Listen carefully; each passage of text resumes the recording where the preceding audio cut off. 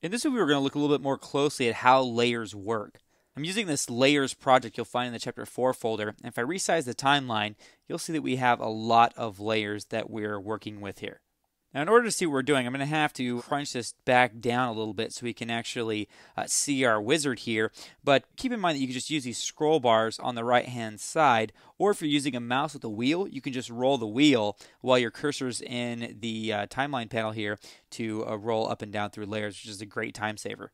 First, let's look at stacking order. This is something that probably is very familiar to you if you use Photoshop. Basically, we have a series of layers here, and each layer is a separate entity and layers that are stacked on top of other layers obscure the view of the layers beneath them. See, for example, this staff here. If I click this eye icon, I could take off its visibility. So we see where the staff is. Notice that the layers that make up the glow and all this magic stuff are behind the staff. But if I were to grab the staff layer and drag it down beneath the staff glow layer, you can see that now the staff is behind all those layers. So stacking order really is key to getting the results you want. I'm actually going to drag this back on top of the lens flare layer. Now I don't want to drag this on top of the staff hand top layer because that would cover up the hand. In order to make it look like he's actually holding the staff, it needs to be below staff hand top.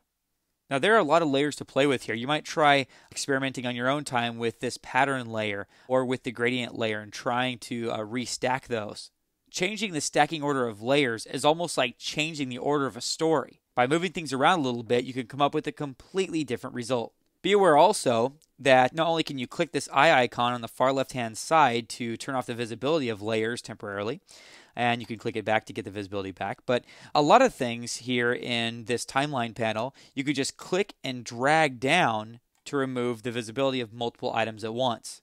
Actually, we got the staff glow in that one too. So let me click and drag back down to restore the visibility.